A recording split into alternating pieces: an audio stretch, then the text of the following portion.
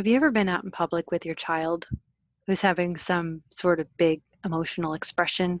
You might call it a tantrum, you might call it a meltdown, you might just call it really being exuberant. It doesn't matter if it's exuberantly happy or screaming on the ground like a starfish in the middle of the pavement. What does it feel like to be out in public in a situation like that? And then what does it feel like in your home?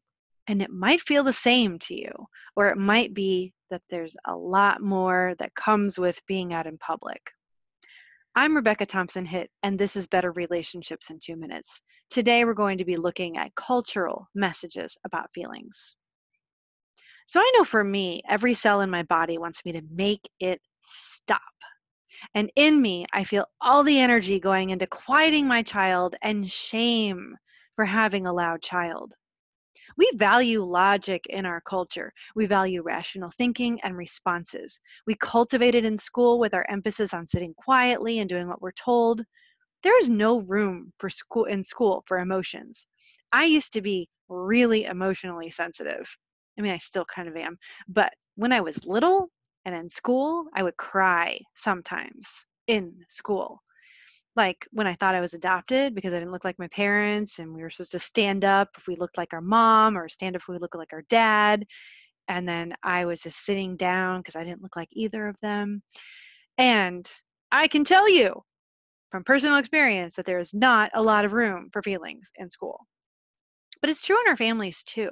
If it isn't logical, we don't know what to do with it. And feelings aren't necessarily logical. We're more likely to be able to deal with feelings when we understand why they're happening.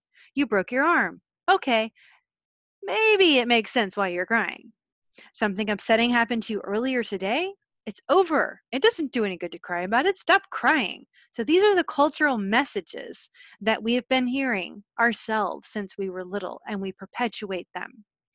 So, what it's like for you when your child or someone else is out in public expressing big feelings. What is it like for you? What do you feel in your body? What's it like if you're a parent and your child is expressing big feelings? So just notice and share your experience with someone.